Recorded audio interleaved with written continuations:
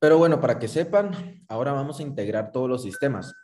Normalmente, como saben, se utilizaba un sistema en Guatemala, un sistema en Salvador y luego se utilizaba el sistema de Honduras. En Guatemala y Salvador era el mismo y en, en Guatemala se, perdón, en Honduras se utilizaba uno distinto y en Guatemala y Salvador era, era otro. Entonces, ahorita lo que hicimos fue centralizarlo para que todo se utilice desde el sistema del Álamo. Ahí van a estar el stock de productos. Eso significa que ya no se va a usar el, el, Excel que se utilizaba, el Sheets que se utilizaba donde se veían los inventarios en vivo, sino todos los inventarios van a estar desde el nuevo sistema. Entonces les voy a mostrar mi pantalla, solo confirmenme si, si la ven bien ahí. Si se mira mi pantalla, confirmenme en el chat. Se mira, se mira.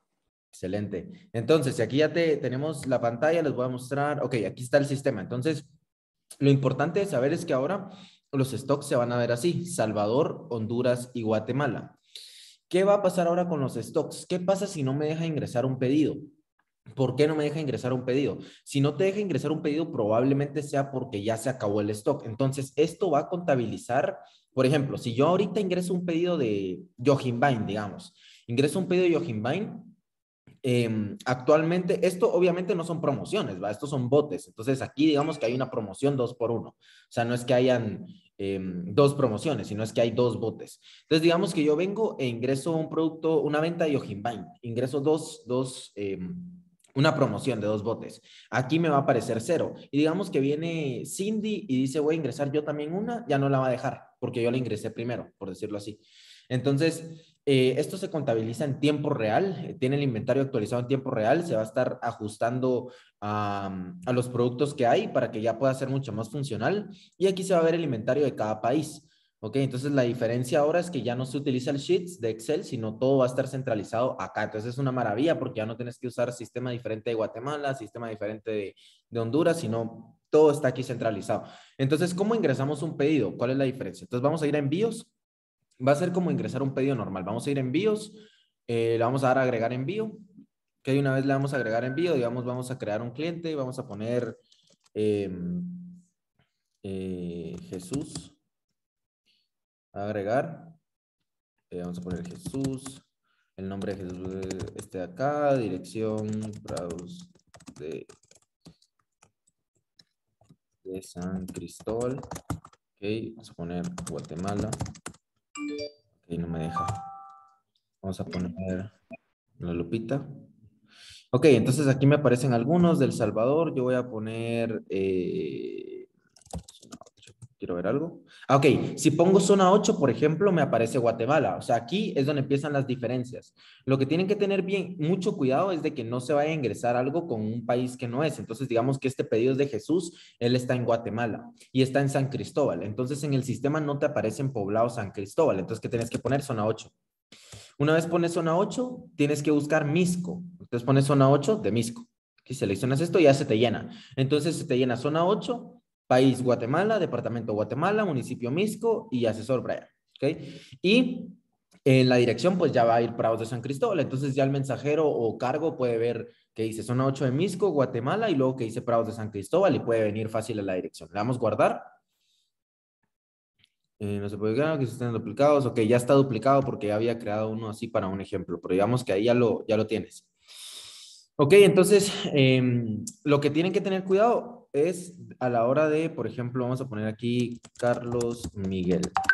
A la hora de, espérenme un segundo, solo voy a cerrar WhatsApp. A la hora de poner por aquí, por aquí, por ejemplo, 50, 19, 64, 76, ok, ahí está. Dirección, vamos a poner San Miguel. San Miguel creo que es del Salvador, entonces si yo vengo y le quiero dar San Miguel, me va a tirar los departamentos del Salvador. San Miguel. Ahí está, Salvador, por ejemplo. Entonces selecciono San Miguel, Salvador y ahí está. Obviamente aquí tratemos de ser lo más específicos posibles en la dirección para que se pueda entregar el pedido. A la par del árbol caído. Entonces digamos que así lo dejo, lo doy guardar y ya me, me guarda. Operación exitosa, registro creado. Entonces se guarda el cliente Ok, forma de envío, le doy cargo. recordemos que el local solo sirve en Guatemala, no sirve en Salvador, no sirve en Honduras y no sirve en ninguno de los otros países. Solo en Guatemala. Entonces le doy cargo. Ok, listo. Referencia, eso no descripción tampoco. Ok, voy a agregar un producto. Entonces digamos que busco garañón. o Gara, porque aquí no funciona la ñ, entonces Gara, por ejemplo. Si se dan cuenta, me aparece de Salvador, de Honduras y de Guatemala. Es bien importante que si yo le vendí a alguien en Guatemala, ponga GT. No puedo poner, por ejemplo, este que es de Salvador y poner un stock de Honduras. No se puede. No, se le, no le va a llegar. Y ahí dice, error, producto no pertenece al país del cliente. Entonces, si es de Salvador, yo tengo que poner Gara, tengo que poner Garañón de Salvador. ¿ok? pongo dos unidades y ya me tira ahí el, precio final de venta, que es de 45 dólares, ¿ya? Entonces, es bien importante que, hagan esto para que no se confundan e ingresen un pedido eh, de que, digamos que el, sistema no te va a dejar igual, pero digamos que te deja y te equivocaste y pones eh, un stock de, H, de Honduras a un cliente de Salvador, igual no se le va a enviar al cliente y va a ser una devolución de tu parte. Entonces, lo mejor es que se haga de esta manera y de igual forma, eh, cuando tú estás creando el cliente, por ejemplo, le vas a agregar, aquí pones en poblado, en la lupa, aquí es lo importante, poblado, la lupa, y aquí pones, por ejemplo, zona 10 y te va a salir Guatemala, porque es de Guatemala, o de Villanueva, o de Quetzaltenango, de Huehuetenango. Aquí están todas las áreas que cubre Cargo Expreso. Si el cliente te pidió, te pidió a un lugar y no aparece acá, es que no tiene cobertura cargo. Entonces no se le puede hacer el envío, pero la mayoría sí están acá. Y si pones, por ejemplo, San Pedro, te va a aparecer El Salvador, Guatemala o Honduras, porque hay algo en San Pedro que, de Guatemala, hay algo en San Pedro, Salvador y hay algo en San Pedro, Honduras. Entonces tú puedes poner San Pedro Sula, Honduras, digamos. Quiero que sea en San Pedro Sula, Honduras. Y luego, si es un pedido para Honduras, entonces vienes y pones acá, ya no sería Garañón, Salvador, sino sería Gara de Honduras. Y puede ser, en Honduras hay varios, hay Garañón Power, Garañón Plus, Garañón Plus MR, pero digamos que sea Garañón Power. Garañón Power. Vamos a ver. San Miguel. Ah, ok, no lo cambié. Aquí sigue en Salvador. Voy a eliminar este. Vamos a ver. Vamos a poner Carlos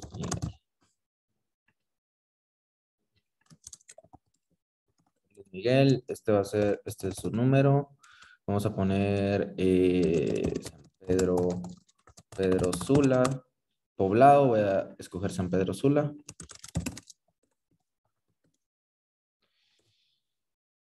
A ver, San Pedro Sula. Entonces ahí ya lo dejo, le doy guardar. Aquí obviamente no voy a dejar esto tan específico. Digamos que me lo pidió en el centro de rehabilitación a la vuelta de Pizza Hut. Guardar. Ok, ahora ya se quedó y ahora sí ya podría enviar este producto. Ahora sí ya me va a dejar, cuando le pongo Gara, que sea de HN. Entonces lo importante ahorita es guiarnos por estas siglas de acá en productos y también en, poblados para que podamos hacer el envío correctamente. Entonces le doy eh, Garañón Power y ahora ya me deja. Cantidad máxima, ah, no me deja porque no hay stock. Pero digamos, si hubiera stock, vamos a poner otro producto. Hígado y riñones HN. Vamos a ver.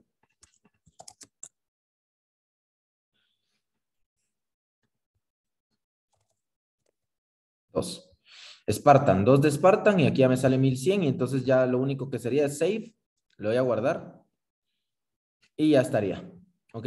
Entonces, ahorita en Spartan, ay, como no les mostré eso, pero digamos, si hubieran 600 de Spartan y yo ahorita ingreso este pedido, va a quedar 598.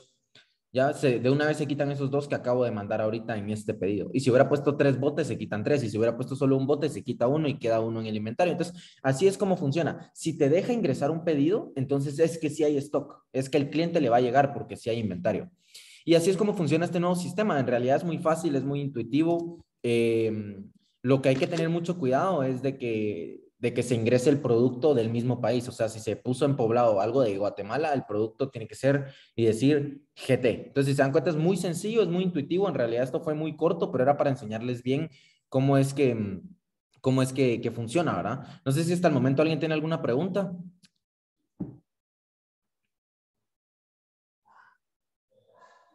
no, de mi parte todo ya todo está claro. Excelente. Buenísimo. Igual, si tienen alguna duda o les quedó algo, lo pueden, pueden consultar este video. Se va a subir al curso. Eh, espero todos tengan acceso al curso de Facebook porque ahí se explican un montón de cosas técnicas de, cómo hacer campañas y todo.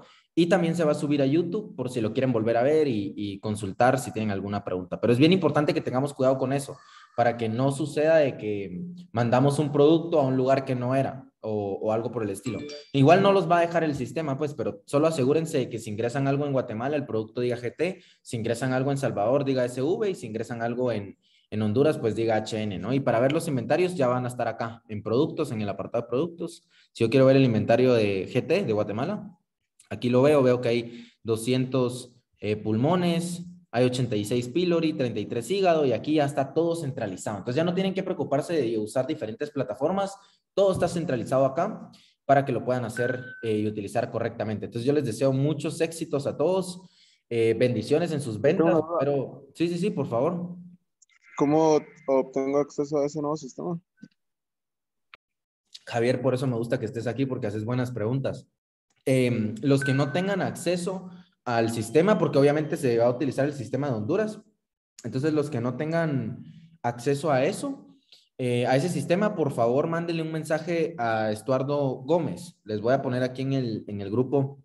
Espérenme, espérenme un segundo, les voy a mandar acá tengo código para entrar, para meter sistema en Honduras, pero no esa, esa nueva plataforma que acabas de explicar vos. Ah, va, es que de plano no, no tenés al nuevo, pero el nuevo es este, ok, les voy a explicar. El nuevo es este de acá. Entonces venís acá y digamos me voy a salir, voy a hacer logout, salir. Es este sistema acá que es el de Alamo. Entonces, eh, Smart Commerce, sistemas Brian. Entonces, Tienes que entrar con un link a este sistema. Les voy a mandar el link al grupo para que lo puedan acceder y los que no tengan usuario eh, y contraseña de este nuevo sistema, se lo piden a Estuardo Gómez. Eh, pueden pedirle sus sistemas a él de Alamo, donde se llevarán el control. Ok, entonces ahí le ponen, a él envían eh, sus datos, su correo, su cuenta bancaria, lo de siempre, y él les va a crear ahí el sistema para que puedan acceder. ¿Alguna otra pregunta? Qué buena noticia, ¿va? A mí se me alegra esa noticia porque ahí ya está todo junto, no hay que mezclar. ¿Alguna duda o todo claro?